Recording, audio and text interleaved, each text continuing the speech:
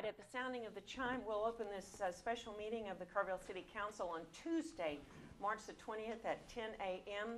Uh, Item number one is update regarding the city's development services, operations, and services. And it looks like Drew will begin us this morning. And I know this is another in a series of workshops that Mr. McDaniel has arranged for council to go a little deeper into some of the things we want to organize and understand having to do with the city government operations. So thank you for Yes, ma'am, that's correct. organizing. Drew Paxton, Executive Director of Development Services, and Guillermo Garcia. Uh, Executive Director for Strategic Initiatives. Say that Looking- really slowly. For strategic initiatives, okay. Looking at development services, uh, purposes and the services that we offer. Our purpose, development services, we believe that the citizens of Kerrville should have a superior quality of life and a vibrant, sustainable community.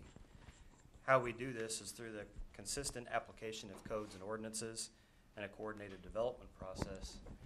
And what we do through our major services, being building services, code enforcement, environmental health, and planning and zoning. And those support services, as you can see in that table below.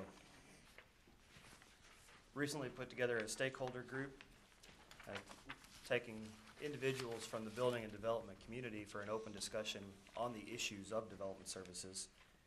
And to identify those requirements, we broke out the process into three broad pieces. Development review, plan review, and inspections. Drew, I'm sorry, but were you going to cover that page four in, in any level of detail or questioning? Did any members of council, uh, on the planning and zoning, that was just interesting to me, that column, the Yes. duties and responsibilities. Mhm. Um, because I know I, uh, ad- addressed planning and zoning about a year ago or more about some of these, um, responsibilities, if you will. And so are you more uh, proactive in the area of, um, let's say, redevelopments and that sort of thing? Are there healthy discussions that you have planned from time to time about uh, annexation, that's number three, those kinds of things? Because generally, it's been as the um, applications come, they're considered, but is there a little more um, advice for us on how that could be utilized? A lot of those proactive planning projects will come out of the comprehensive plan. Um, A lot of the recent projects that we've been working on, as you mentioned, have been come in, you know, projects come in the door and start working on. We've got someone geared up to do their project, their property. Um, As far as the future planning, uh, that'll, again, that'll come from the comprehensive plan. Under Right. planning and zoning, you have customer service. How does that fit in to what they do? Just work, I mean, it fit, really fits in with all four departments, um, working with the customers, whether it's a developer, um, business owner, s- or a citizen, and how each of these departments kind of touch those parts of the community. Okay, I'm I'm just seeing that. So again, the stakeholder group looked at our processes in three broad categories, the development review, the plan review and permitting, and then the inspection process.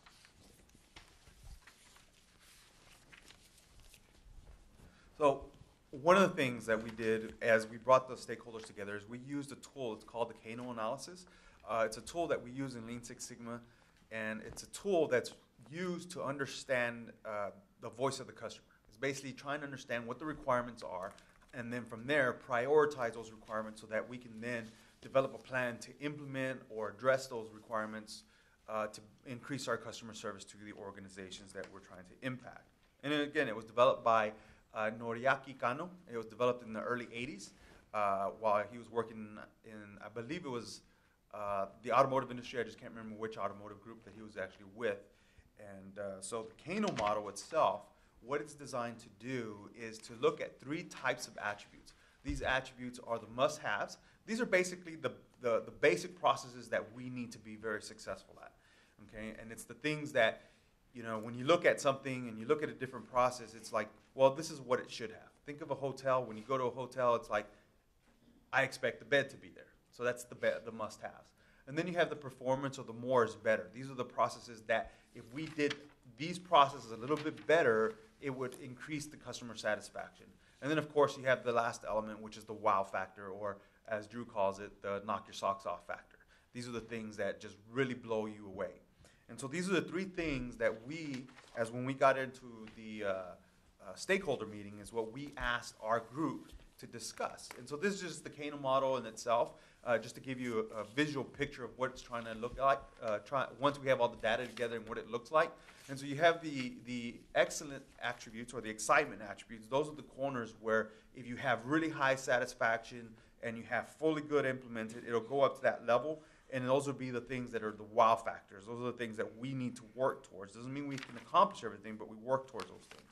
And then you have the performance attributes. Those are the, the more is better. And then the blue line represents the must be's. Those are the things that we need to be really good at. So, in, in order to conduct this exercise, well, instead of having like your traditional town hall meeting where we sit up front, we gather information from the group itself, what we ended up doing is having more workshop. And so we split the team that came together. Uh, we had approximately 14 individuals show up, and so we split the team into three major, three big groups, and then each of these groups were given a topic. And so the topics that we discussed, as mentioned before, were the, the, the development review, the plan review, and the inspection. And so each group would have a, have one of those items to discuss. They would discuss amongst themselves for about approximately 10 minutes, and then we would rotate out the subjects uh, until we were completely done. And then at the end, we had an open discussion about the major items that they identified through their individual workshop.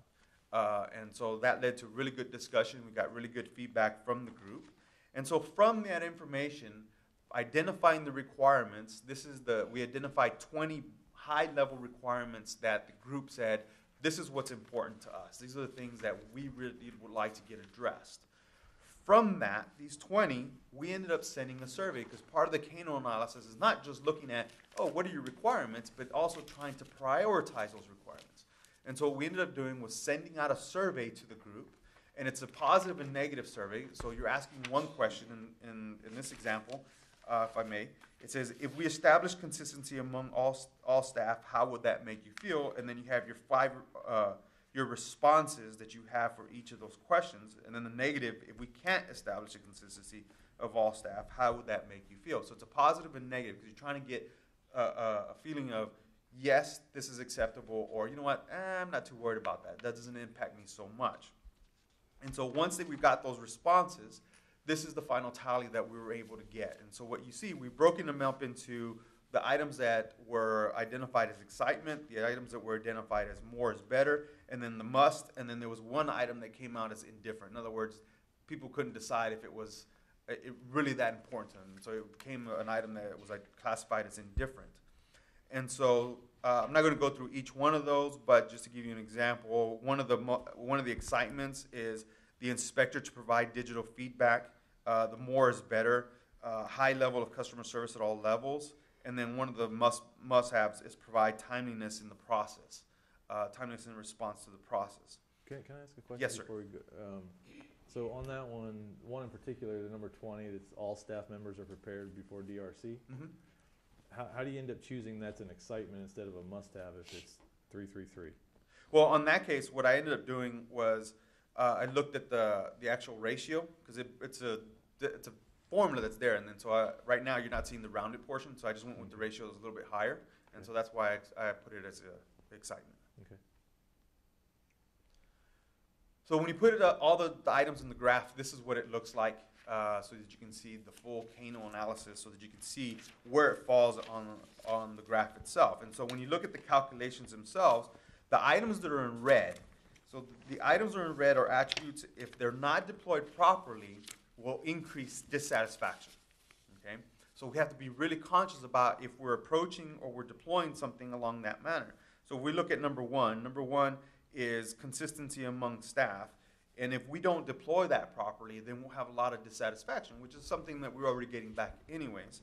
And then the items are in green, if that we succeed on implementing that particular requirement, then it will definitely increase the overall customer satisfaction for the organization. So we have to look at a balance of it and see, okay, how are we going to implement and improve the process overall?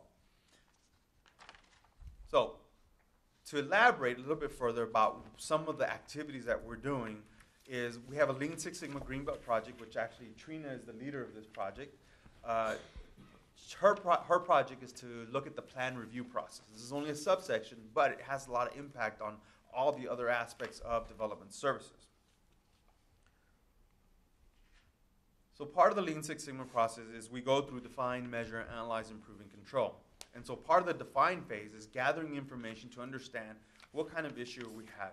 So in this case, when we connect, collected the initial data, what we found that the overall average, again, this is the average, the overall average of plan review is six point three two days. Uh, but that does not mean that we consistently meet that average, right? There's a variation that's included. So if you look at the standard deviation number, it's almost four. So basically what that means, we have a widespread of variation in the process. So in some instances, we can have a minimum of one day review time all the way to 11 days uh, on this, according to this data, a maximum that we have in that small sampling that we've got. Uh, so what that means is there's a lot of opportunity for improvement because ultimately one of the goals of Lean Six Sigma is to reduce variation in a process. And so this is a great example of variation that we're trying to reduce and eliminate in a process. Is it, is, well, be- before Yes, you- So if I'm looking at that bar graph, is that, is that telling us that while the average is at six, the bulk of them are either really fast or really long, Yes. based on those bars? Okay. Yes, sir. Yeah, there's no, for, I guess, to, to just to simplify it, there's really not consistency. It's either, like you said, really fast or really slow. It's, it's neither, uh, right in the middle. So once we collected the enough information, I'm sorry, I skipped the slide. Once we collected enough information, we were able to create a problem statement. So the problem statement that we identified for this particular project is that the magnitude of the problem is that uh, we have a forty-five percent defect rate and the expected performance is exceeding eight days internal requirement. So what that means is we went back and we looked at all our data and we used uh, capability analysis, which we don't have in here, but that capability analysis indicated to us that overall, forty-five percent of the plans are reviewed do not fall within the expected eight days. So there's a lot of variation that happens in this process. Even though our average is six, there's still a lot of uh, defects that are occurring outside of the eight-day time frame internally. Because externally, we have a ten-day time frame. So we're trying to get all the plans reviewed by ten days, but internally, we're trying to get them done by eight.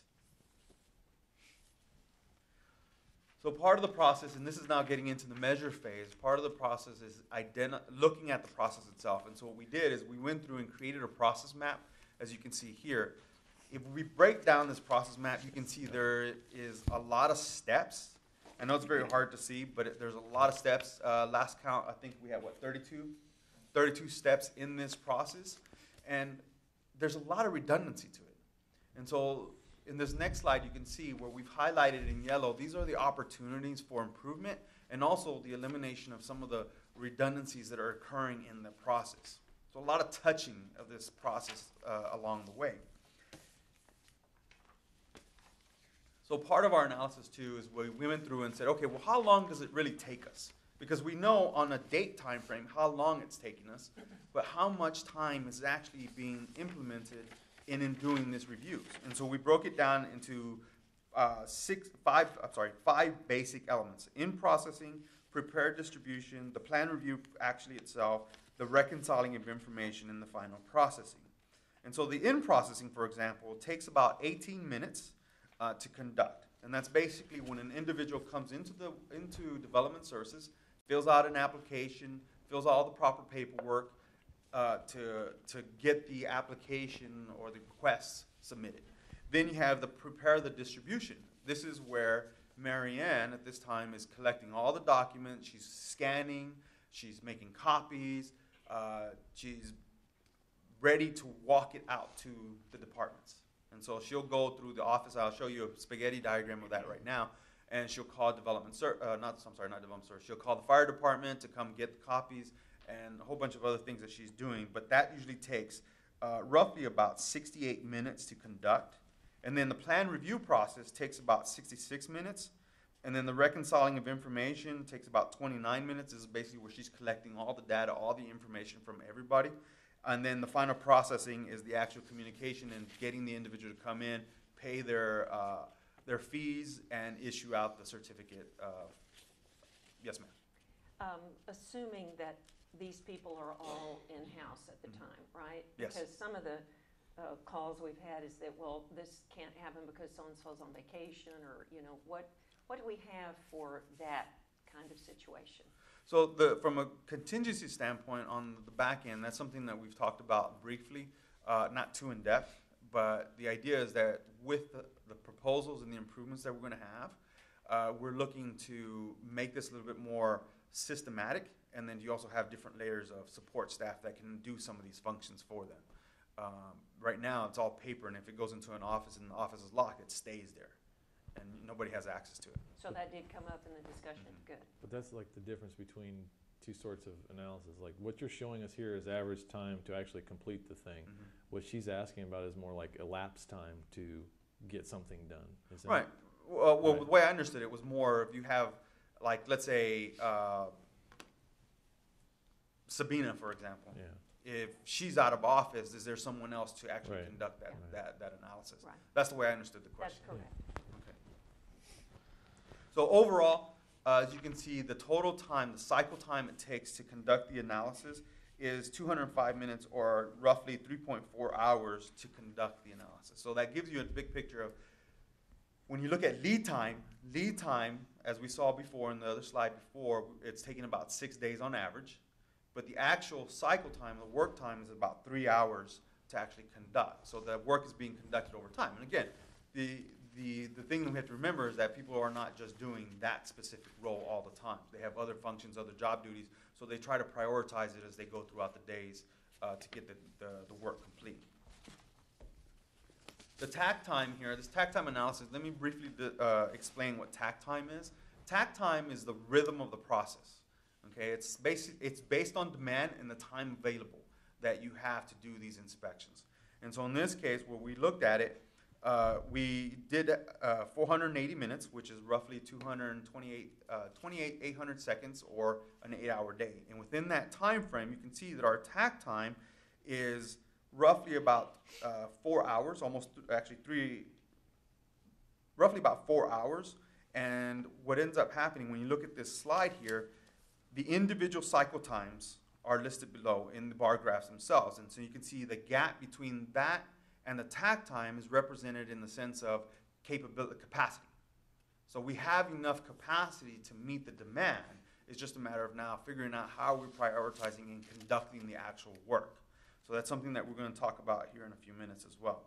Guillermo, you might elaborate more on how do you capture the, the takt time?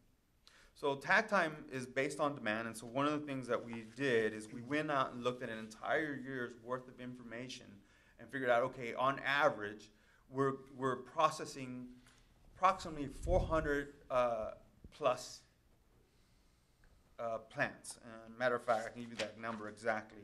Uh, we're processing 480 plants per day, or I'm sorry, I'm sorry, not 480. We're processing. Do you remember the number 440? Yeah, it was 440. 404 440 plants per year, which if you do the math, it breaks down to two plants per day. And so from that standpoint, divided by the time available, that's how you calculate takt time. It's a basic uh, formula. Uh, it's used in, in multiple industries, just trying to get a gauge as to how many resources you need, how much time you have available to actually complete the job that you're being assigned. And then from there, you can start making adjustments based on demand, whether you increase capacity or you decrease capacity in, in a workspace. So there's a lot of things that come, come into it as well. So on this slide here, one of the things that we, we got interested is we took a snapshot. Okay, this is a snapshot in time.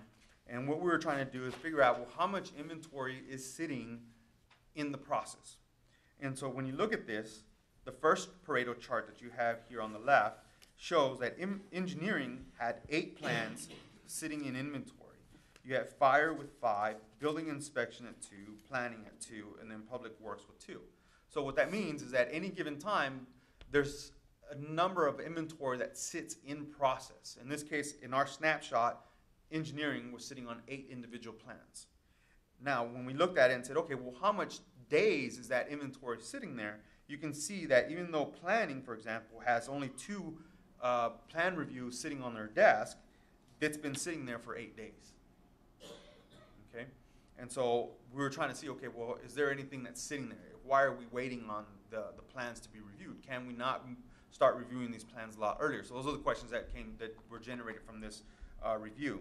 Because you can see, from this example, it seems that we're waiting till the eighth day to actually conduct the reviews. So additional process analysis that we did is that this is the spaghetti diagram that I I mentioned earlier. And the cool thing about a spaghetti diagram is that it allows you to see all the motion that exists in a process. And so you can see the starting point is that first uh, little office in the corner on the left-hand corner. This is where Marianne sits. And then once she gets up to actually process and start delivering the, the, uh, the, the plan reviews or the plans themselves, you can see all the walking that she's doing. And so when we calculated that out, we actually took uh, account of how many steps. Uh, that's about 105 steps. It takes her about a minute to do because everything's in close proximity. But if you looked at it over the course of a year, you're talking about 27,300 steps. You're talking about five hours in time over the course of a year. And she's walking approximately 13 miles in a given year. Yeah, just as a suggestion, next time you present this, it'd be really cool if you could have a time lapse film of her doing that, going back and forth. Just anyways, just a thought. Yeah. Well, that is a great thought. We'll see if we can accom- accommodate that next time. Uh, and then Public Works, for example. Public Works actually starts from here, in this office upstairs, and goes to Development Service to actually get their plan reviews and brings them back. And so we took a, a count of steps, so it's about 700 steps, round trip. It takes about eight minutes. And so if you did it over the course of a year, that's 182,000 steps. Uh, it takes about 36 hours over the course of a year or 86 miles and just walking back and forth just to get development. And I actually talked to Mr. McDaniel about the possibility, the thought of moving everything together, Mhm. maybe in your university area or something like that, which he's, to which he said no. well, I think with I think with one of the proposals you're going to see there, we're we're pretty much going to eliminate all the walking and driving. You, by software. By That's software. what we're building to, I see. Yes. Because the Mary next Ann's gonna get really overweight. she's got other job duties that keep her walking around. Uh, but on this page here, you can see this is uh, the fire marshal's office. Uh, they're driving from a fire admin all the way to City Hall and back. And so we were able to calculate based on the numbers here is that roughly it's about 12 minutes in time, uh, about six miles, and we convert that over to annual numbers. You're looking at 52 hours or 1,456 miles in a given year that that the fire marshal's driving back and forth just to get plans. So with that being said, we went back and said, okay, let's look at this process. How do we want it to function? If we were to able to get the perfect software, how would this process look? And so we're able to look at the process, and this is the new process map that we developed. We were able to have now 22 steps versus the, the 32 steps. Uh, so we took approximately about 10 steps out of the process to try to make this a lot more efficient. This is, of course, going to a more electronic method, not a manual method. Because right now, you have developers that bring in their plans versus why don't we just submit it electronically? You know, just bring it in. Uh, you don't even have to bring it in. You can actually just do it from from your home. Uh, you can go online, uh, submit the application, submit your plans, gets received, and then we deploy it uh, electronically, all instantaneously versus the manual process that Does that exists. require the development people, because I know we're kind of skipping to the end here, because I looked at it, but does that require the developer to have software? No. No? No, ma'am. We would provide all that, and I'll talk about the softwares that we have in a minute. Uh, but I want to give you a comparison of what we currently have and what we're proposing to get here in the future. So, for example, right now, oh, this is the difference between the two uh, process maps, just so that you can see the visual differences in, in how many steps uh, were eliminated. so, right now, we currently have a software called Incode 8, is- which is our financial software as well, uh, which is Incode 10. But Incode 8 has several issues that we have that prevent us from being more efficient at this point in time. In other words, having that electronic methodology versus the, the manual process. Well, the first one is that it's very limited in the sense that Tyler Technologies, who's the owner of this software, is really trying to push everybody into what's called EnerGov, okay, which is a software we analyze as well. But everybody's trying uh, Tyler Technologies is trying to push everybody away from Incode eight. They're not doing support, uh, well, they're still doing support for it, but at a certain point in time, they're not gonna do support for it anymore. They're not doing any updates to it anymore, so they're not, so that's why I said, they're trying to push everybody to it. So we've had Incode eight for how long? Uh, since two thousand eight. And then Incode eight has a, a limited web interface. So at this point in time, the way it happens, uh, and actually we don't even have it open as a functionality uh, for developers at this time, because it's very cumbersome. To get access to the website, you have to submit an application. That application then has to be found in Incode 8 because it doesn't give you a pop-up that says, hey, you have a new application for some developer that wants to be part of the system. So you have to go to, you have to find it within Incode 8. Then you have to give access to them, and then they have to go up there and say, okay, well now I can put all my information in. However, you can't do uh, like the payment schedules or, or the fees properly because there's a glitch in the system that doesn't allow you to calculate certain things properly. So they still have to come in manually to process all their fees. But the one thing that it does do once you have it all is that it does it will give you a status as to where your plan is in the review process itself. But that's the limit of the process itself. If you're able to. Do all the other things. in it. Yes. And how many of the permits or how many of the plans do you think have taken advantage of that? Well, we haven't opened it up to anybody in, in the system because it's so cumbersome just to get through it uh, for the developers, so we don't have any developers that use it. Department-wise, uh, engineering, fire, uh, of course, development services, all have access to Incode 8 itself. So Uh, the which is the software. developer's not been able to go online and find out where they are in the process. No, ma'am. But our internal operations could, so that if there are queries right now from the developer, they could, Well, they would have to, so they can't go on, on the website, like through our, uh, if you go to kerrvilletexas.gov, you can't go through there. yes. And so you'd go to Incode 8 and you have to kind of massage it to get the information out to see where the status is. So, So- this- It's clunky. It's and very so clunky. it- It's not really user-friendly, and that's why it's not been put out there for folks to use. Yeah, I understand, but internally we can. If somebody would call in and say, where are we on the process? And you go, click, click in your Incode and say, here we are. I don't think so. You- I you- think, you- I think it- you it's might very- part of the story, but there's a lot of other things that maybe somebody hasn't put their data in because they're using a manual process to, to supplement the electronic process. usually what happens is at the end of the process, when everybody's done. Uh, doing their plan reviews, that's when the information is actually putting in, being put into Incode at that point in time. Um, it's not done uh, as like let's say uh, Kyle, uh, for example, it's not like he's on the engineer in the engineering, then going in there and updating the information because you have to first of all find it, and then you have to go to your section, and then there's a lot of different process manual steps you have to do, and then you don't have access.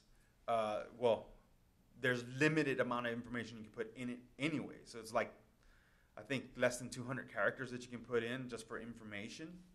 And so there's very limiting to what you can do. So it's just better to wait till the end process and then do it all at that point in time. And even then, you're just documenting dates.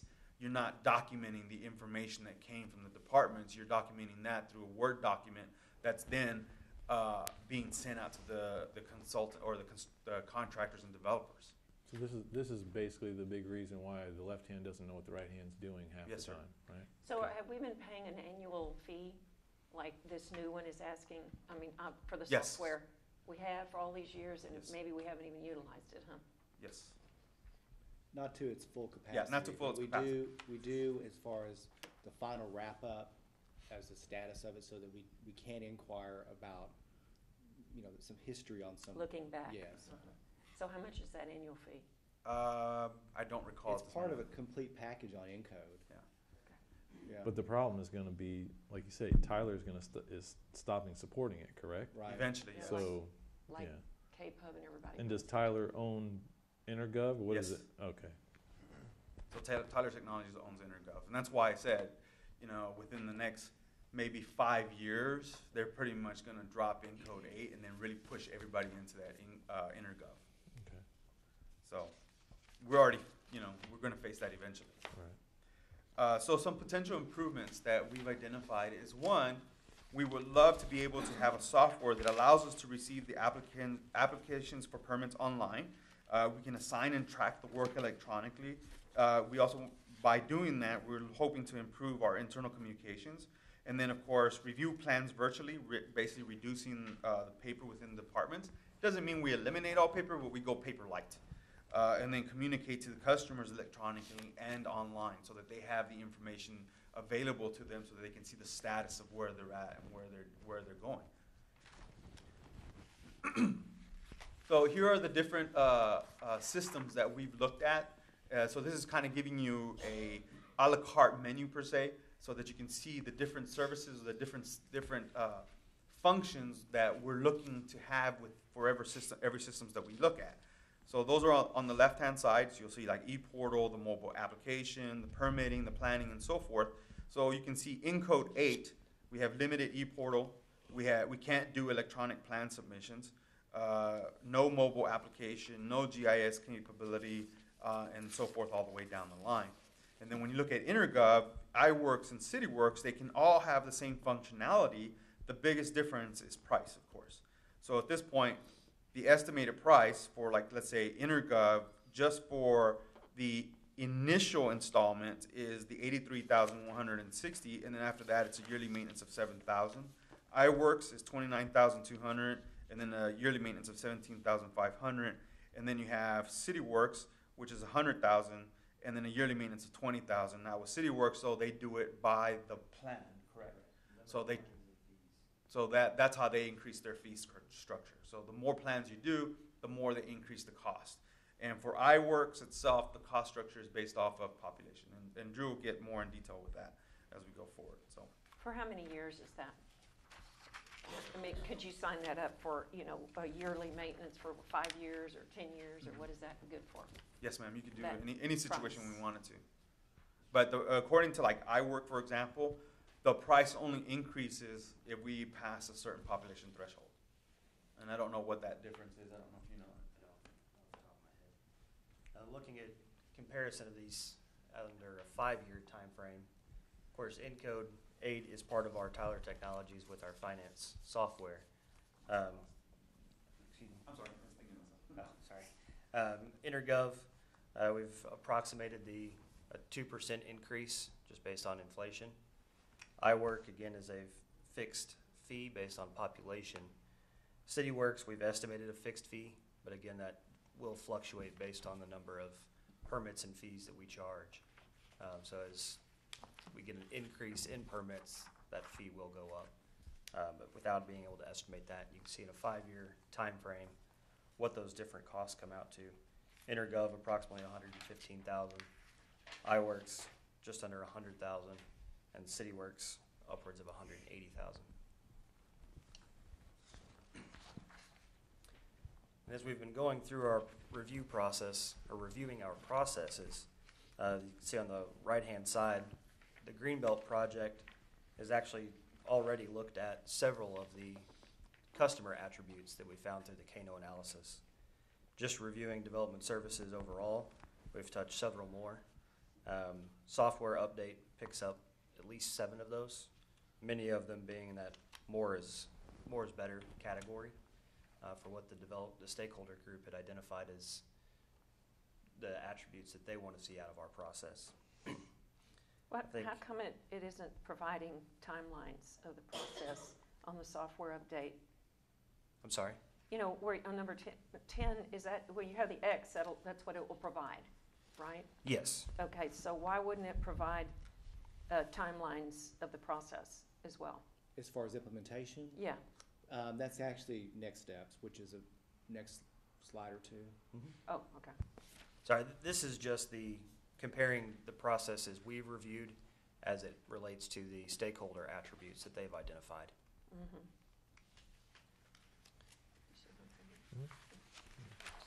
So next steps, looking at the implementation of a new software to reach some of those customer attributes. Refine our processes to fit in with that software.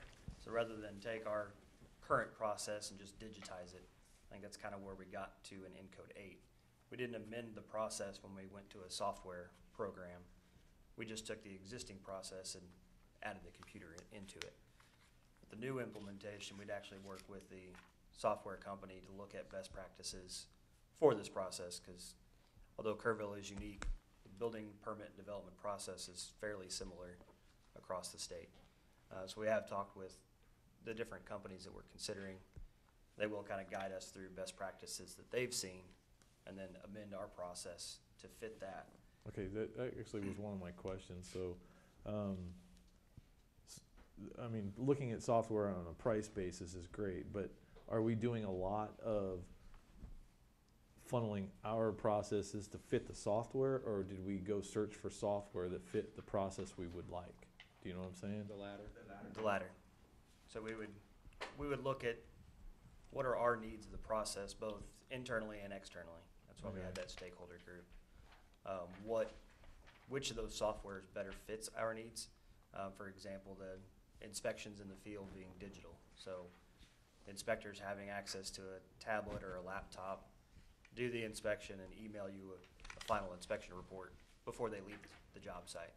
Or if there are conditions, I mean, they can document all of that, rather than duplicating the work, taking notes in the field, going back to the office, typing it up, saving it into an existing software, and then the customer still doesn't see that till the end of the process. Um, so having that access to the information, both internally and externally, uh, that's one of the key factors that we're looking at between the different software companies. Uh, but overall, reviewing those processes, that process map that we looked at, which fits the, which company or software fits our process, and where do they recommend that we make adjustments and changes to get rid of some of that duplication. Also looking at evaluating the DRC or the um, Development Review Committee. Uh, It's committee that comes together for the projects to kind of go through a due diligence process, uh, both with the builder, contractor, or owner, um, some city staff, and external departments and utility companies. Just reviewing how that process fits in within the permitting process. And then, of course, with the software and hardware implementation to improve the inspection process. To get to your question, Mayor, as far as timeline, one of the things that we're in the process of doing as staff as we're developing our budget proposals for next fiscal year.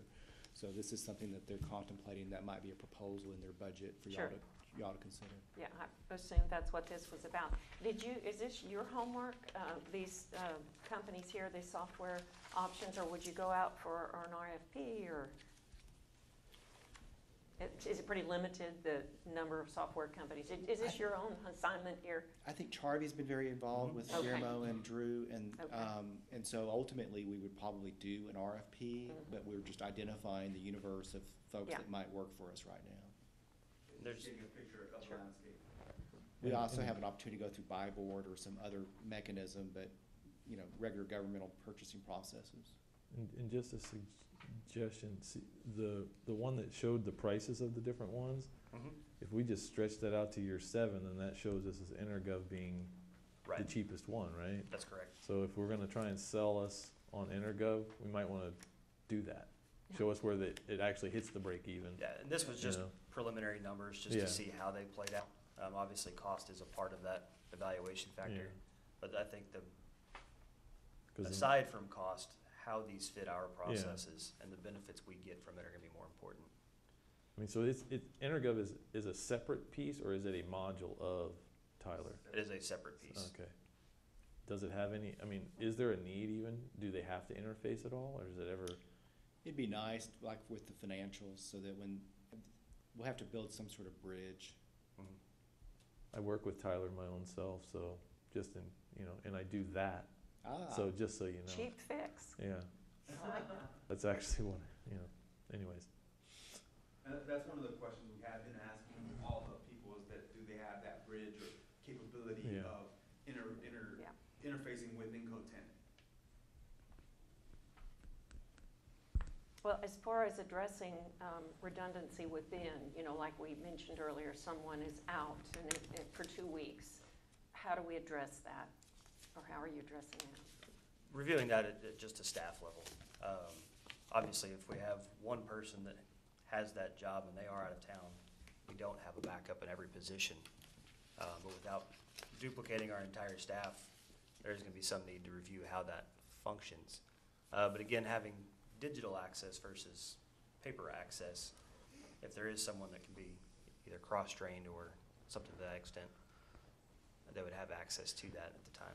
Yeah, the other thing too that we're working on over there is um, roles and responsibilities of specific staff members. And so the new building official comes on board Monday, and um, there's been some shuffling of roles and duties with uh, different staff members to try to streamline as well as have some redundancy.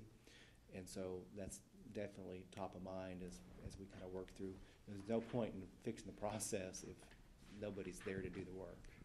And I know one of the things you, you said about this new position, one of the, um, looks like recommendations was conduct all plan review in-house. That was an excitement category. That would be great if we could.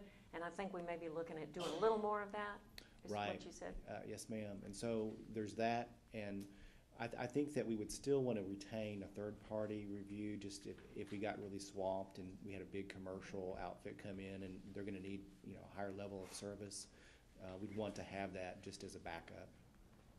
How much are we sending out? What are we, are we doing everything? No, go ahead and comment on. Currently, with no building official, um, the commercial plans have been going out to a third party, residential plans have been reviewed in-house. Um, again, the, the focus is to go majority in-house, um, as soon as we can get there, just to increase that consistency. But with missing staff members, that's, that has been a concern and an issue. I also had a question about um, the comment, um, inspectors provide solutions to construction. Could you comment on that? Not in much detail. Uh, that did come from the stakeholder group. I think where that's coming from is when there is an issue on the job site of how something was constructed versus what it was designed in the plans. Is the inspector qualified to make that determination or give recommendations without having to stop work, go back to the drawing board or architect or engineer, confirm that it is appropriate, and then go back out in the field and continue work? Um, and that's just gonna be case by case. Some examples, that will be a possibility, others that it would have to go back to the professional. Isn't that one essentially what happened in Florida recently when the bridge broke? That I'm not sure. Because I, I, I think what I read about it is the inspectors were looking at something and, and while they were looking at it, the bridge broke. Because they were running some tests of some kind. Uh, Okay. I don't, I certainly don't know a great depth, uh, you know, have great depth of knowledge, but it was an interesting thing to, to go to the local newspaper and they had a lot more about it than you see on the television news at five o'clock or whatever. Right. So, Yeah, I don't know what the poli, what our policy is. I understand liability issues, I mean, that makes sense, but if there was something simple that, you know, you could say, you know, reverse this, or, you know, if you just look at. Right. uh, Yeah. Years ago, we did that, and it was very helpful when Sonny Koffold was in office. Well, I think, I'm encouraged from what I see so far from our, our new building official through our interviews and his responses to some of his questions and how he operates. He comes from the private sector and then he worked in the government sector as far as building official. He's got a lot of credentials. So I think he's gonna have capability as the building official to make a lot of those calls, where right now, I think there's a tendency to just not make them because nobody wants to be responsible and accountable for doing something different. And he's confident enough in his abilities that that I think he can do that. That'll, you know, we'll certainly coach in that direction, but he, he has a tendency already to kind of operate that way. Good. So I'm curious about all staff members are prepared, uh, prepared before Development Review Committee. I mean, I would think that would be un- understood, that Right. we're all gonna be prepared. Does that mean they just didn't get the information in time? Is that part of the issue there? Some of that, um, either didn't get the information or have not had time to review it based on other job duties.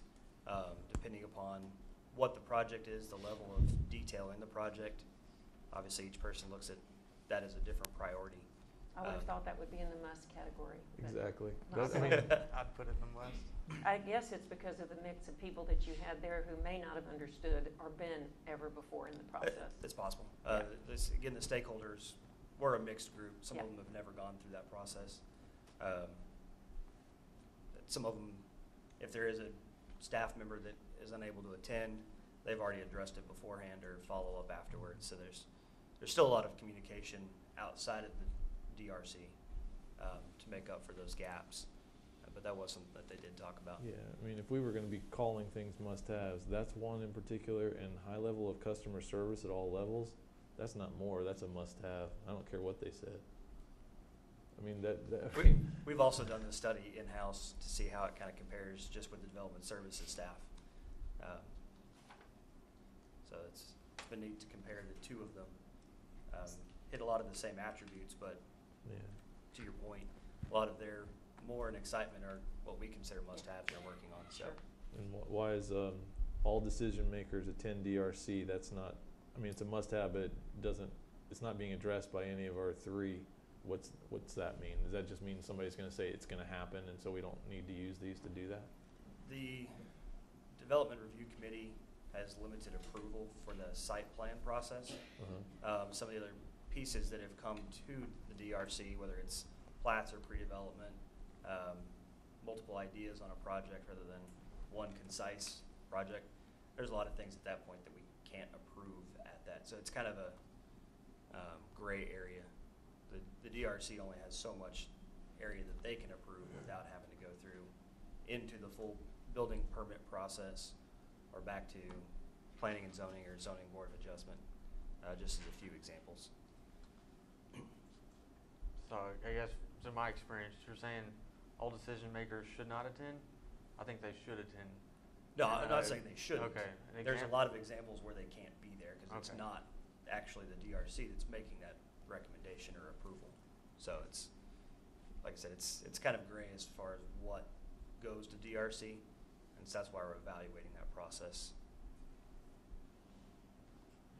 I would think that the, in the software program, and I know this will be another conversation later down as we get in budget and all of that, I mean, that makes sense to me, um, to streamline that digitally.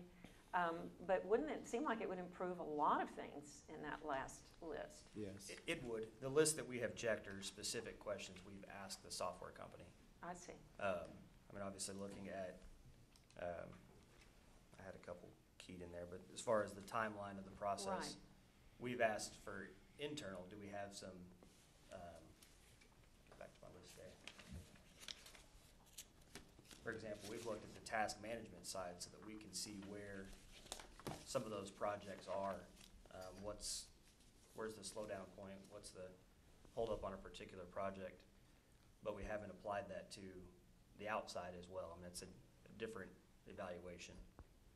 So you're right, it, it will touch a lot more of these attributes than just the ones we've checked. The ones we've checked are the ones that we've specifically looked at as far as the opportunities with the software. You know, something else that we haven't really talked about yet is, and I- I know we, we all have one-on-one, but uh, the need to update our codes, right? So whether that's the subdivision code or the zoning code, or maybe it's a, uh, an ancillary code that impacts the development process, like signs or what have you, sidewalks. So there's a, you know, one of the things I've asked them to do is come back with a budget proposal also for the rewrite of the code to support whatever we end up with on Kerrville twenty fifty. And so it'd be a pretty comprehensive rewrite. And, um, so they're, they're working on that as a budget proposal, and you'll see that in, um, your budget process coming up. What was the feedback from the stakeholders on the zoning, on that particular issue? Did it come up? Yes, um, trying to remember how we documented that. Just one second. Uh, if you look back at this table here, Page eleven? number sixteen.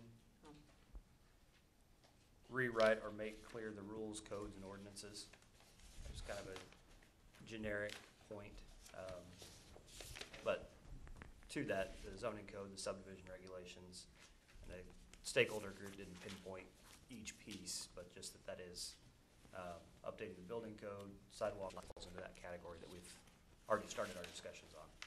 Here, here is one of the biggest comments that we've had for fifteen years, and that's, I, uh, from developers, I get to, um, the job site, I got a permit to go forward, and then a week later, I'm into the process and something comes back and I have to change something. and a correction two, three, four times. It's a moving Uh, target. And so uh, I see on, on this chart on page 11 that you have detailed checklist for permits. I know we have that currently, but you know what I'm saying? These things seem to kind of be, uh, as Vogel said, a, a moving target sometimes. So is there, in this software, uh, adaptability, or is there an absolute? There is, you're Mhm. nodding your head. So we have, we can build in what we think is necessary, and everybody will know that up front. Okay. Yes. As you can see on our, on the slide that we have up here, number two, um, is at the top of the more list.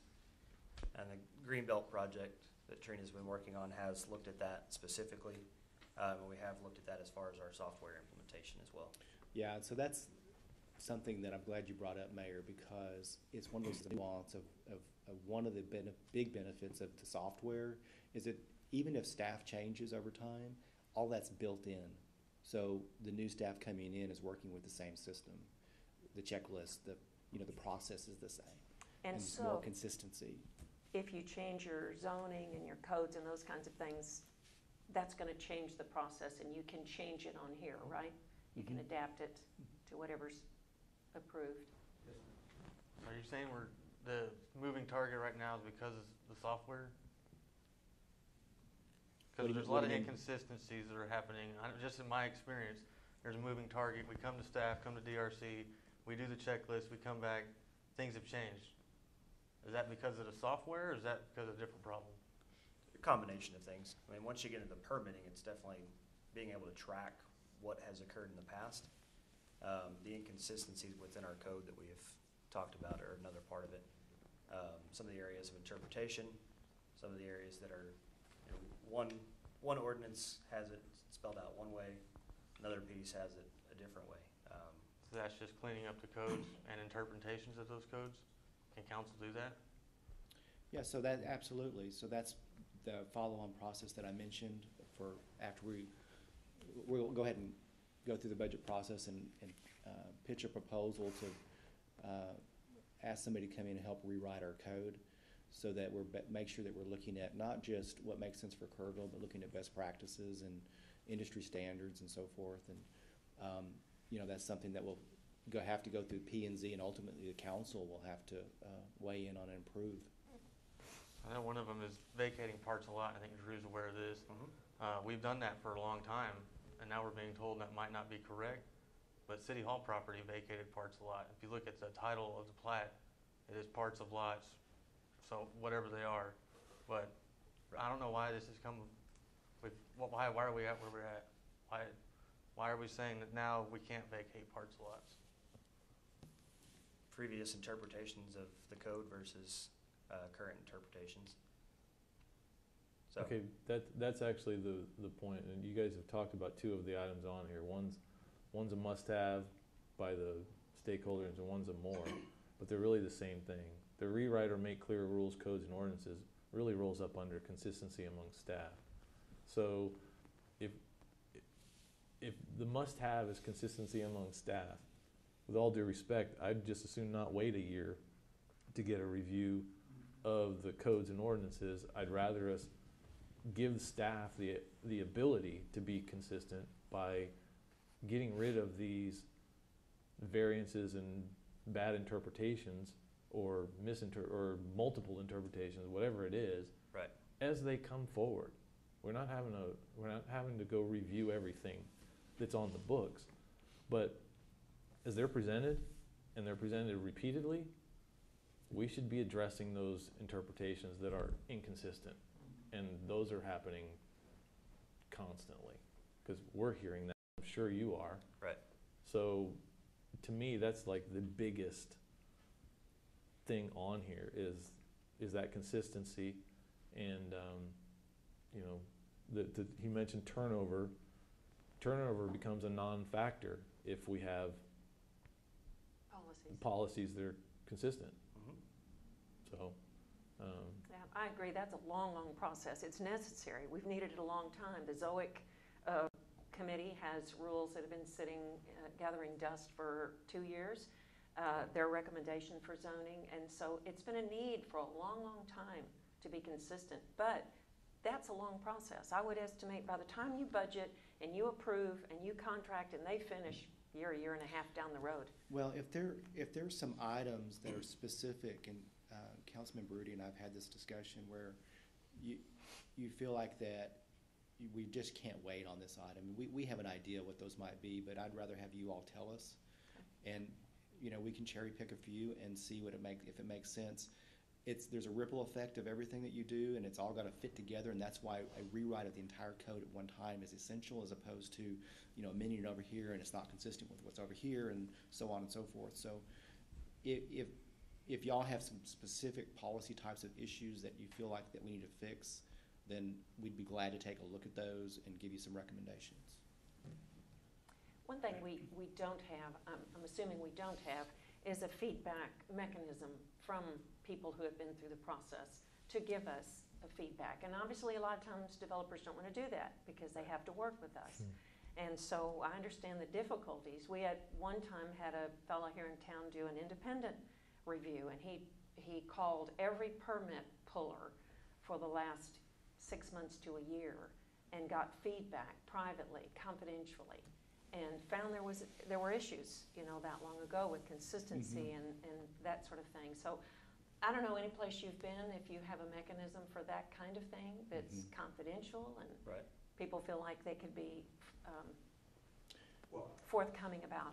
I was gonna, I was gonna add to this, to your, to your comment, is that part of the business plans that we have all the departments doing, there is an element in there that's focused on the customer themselves.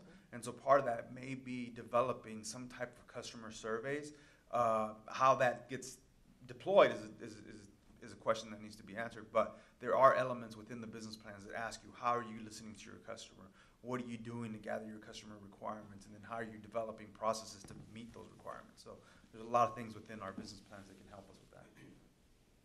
Is there something in there that addresses, if, we've, if we've got codes that are very explicit, say, don't do this, that's, that's a roadblock to the developer, they all know what it is. If, if, what I'm hearing is too many times we have interpretations of the code that are being utilized to essentially be another hurdle for a developer. If it doesn't explicitly prohibit it, why would we interpret it in a way that prevents development? Are we, why, why do we do like that? Why aren't we development friendly, I guess? Yeah, Lean but in it's, favor of but, but like I say, it's, developer. it's not, it's not so much just saying, all rules aside, let them do whatever, but if it doesn't explicitly prohibit it, why are we interpreting a prohibition into it? Well, I think we'd have to look at the specific example, because that, again, it gets down to an interpretation of, of wh- how you're viewing it, and, and so that's why I'd like to look at specific items, um, on a case-by-case basis. And you have Yeah. some, right, that you can Oh, I have visit with him plenty. about? Okay. Yeah, I'll make a list. Okay. Yeah, I think right now as we're, we're in this development process, I know you're reorganizing and you've done well to, to go through this, and we appreciate that because this is something that we brought to Mr. McDaniel's attention when he first came in. And this is something that y'all have been working on internally because we're trying to build a comprehensive plan. We're doing these studies to find out where does retail go, where does this go, where does the hotel?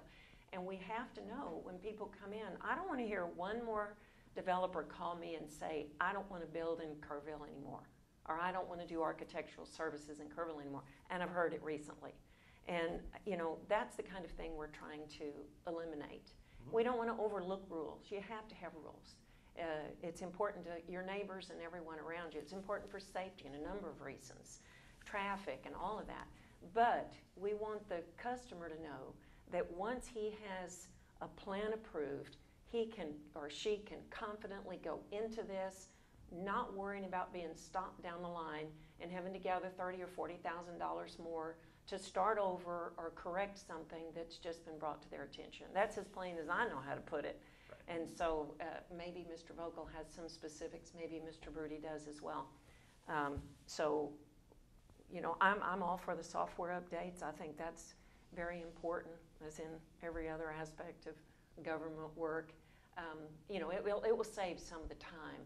But then there's just some policy things um, like was mentioned, the consistency things that, um, if, if somebody can't afford to build here, that's the way it is. But we want them to know that they know everything going in that they're gonna need and feel like they've had a great experience, whether they can do it or not, when they leave. Yeah, I can't overemphasize the, um, request of the council on my part and the staff's part for your support on the rewrite of the codes, because, you know, I think what, we- we've been limping along and doing workarounds and, you know, it means this, it means that, and we just need clarity, we all need clarity. Sure. And so, I think sh- shining the light, so to speak, on what it all really means and, and being very clear about what the ru- rules are, um, is, is really what we need more than anything else, so. I look forward to our budget discussions on that, and hopefully we can move sooner rather than later. Sure. Any other comments or questions? I appreciate y'all having this stakeholder uh, meeting and, um, you know, getting feedback and and paying attention to these requests. That's a good first step in my mind, This is and the software uh, research, that's another good step towards elimination of some of these issues. Mr. Ferguson, did you have any comments? You've been quiet down there. Yes, no, I understand what's going on here, Okay. it's a challenge uh, that we need to be better at, and we, and, and we need to get to where we can let customers look in and see where their piece of, where their work is. I think that, that goes a long way to satisfy customers, is let them know where things are, even if they're gonna call up and say, well, you're late. But it's better to tell them than to not tell them. Sure. And then they find out another week later, that kind of thing. It, it, it's a challenge and, uh, one that Kerrville's got to learn how to deal with a little better than they have been a- as we grow faster than we have been. So, Any Part of growth. Comments or questions? Um, Any other input from staff? No. Okay. Well, I appreciate it. Very good, very informative, and uh, we look forward to where we go from here. And so we will adjourn at 11:02. Thank you.